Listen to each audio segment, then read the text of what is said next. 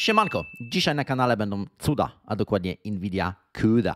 Zatem dzisiaj zainstalujemy sobie sterowniki do NVIDII. Wiem, że ten temat sprawia y, wielu osobom problemy, zatem zrobimy sobie instalację na serwerze Linuxowym w mega ekspresowym tempie, bez y, przedłużania, bez kombinowania. Zatem Zapraszam. Ok, bez przedłużania lecimy z tematem. By była jasność, wszystkie polecenia, które teraz użyję, znajdziesz w notatkach y, pod tym wideo na dole, zatem wystarczy, że sobie wejdziesz, skopiujesz. I teraz to, co robimy, to przelogowujemy się na roota, tak żeby nie było y, problemów z uprawnieniami. I pierwsza rzecz, jaką robimy, to aktualizacja pamięci podręcznej. Y, wykonujemy poniższe polecenie. W tym momencie pamięć podręczna repozytoriów została zaktualizowana, zatem możemy przejść do kolejnego punktu, czyli instalacja repozytoriów Apple. Potwierdzamy. Wykonujemy ponowną aktualizację pamięci repozytoriów. Jednak zanim przejdziemy dalej, to mam dla Ciebie coś specjalnego. Przygotowałem poradnik Zacznij z Linuxem. Zatem jeżeli dopiero startujesz z nauką Linuxa, ewentualnie nie czujesz się pewny w niektórych zagadnieniach lub po prostu chciałbyś wiedzieć, ile zarabia administrator Linuxa, to zapraszam Cię do pobrania mojego e-booka Dostępny jest on całkowicie za darmo pod linkiem, który znajdziesz pod tym nagraniem. Ewentualnie po prostu wejdź na asdevops.pl łamane przez Linux myślnik start.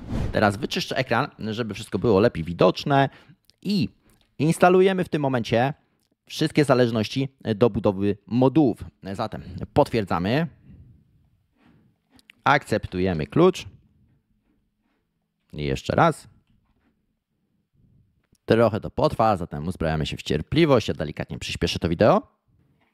Elegancko, gotowe, zatem ponownie czyścimy ekran i teraz y, to co zrobimy, to dodamy repozytorium NVIDIA y, SUDA.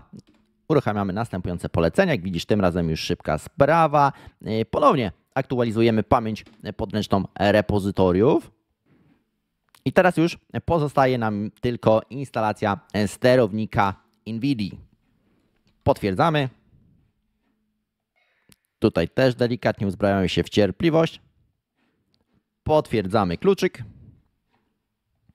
Gotowe. Zatem możemy teraz sprawdzić, czy sterowniki zainstalowały się poprawnie. Uruchamiamy e, polecenie NVIDIA SMI i bank wszystko działa poprawnie, zatem możemy przystąpić teraz do wykorzystania naszej karty graficznej. I tak to wygląda. Jeżeli coś jest niejasne, to daj znać w komentarzu. Jeżeli chcesz dokładnie zrozumieć, co tu właściwie robiliśmy, to oczywiście zapraszam na szkolenia. Przede wszystkim dwa szkolenia. Jedno to jest administracja serwerami Linux i drugie to jest AI dla administratora. Szczegóły znajdziesz w linkach pod tym nagraniem. Zapraszam i do zobaczenia. Hej!